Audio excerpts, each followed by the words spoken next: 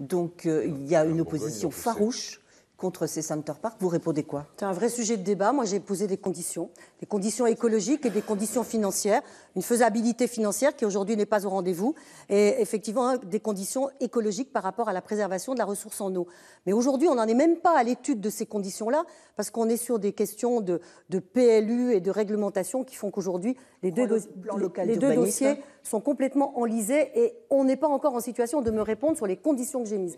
Mais moi, je enlisés, ne... c'est le mot que vous venez d'utiliser. Oui, on peut le dire comme ça. Ces dossiers sont Mais moi, je ne soutiendrai pas un projet de Center Park qui, par ailleurs, peut être intéressant pour le développement économique et la création d'emplois locaux, si les conditions que j'ai mises au niveau écologique et au niveau de l'ingénierie financière ne sont pas résolues. Il n'y aura pas de Center Park en Bourgogne-Franche-Comté? Pas tout de suite. Alors, vous parliez des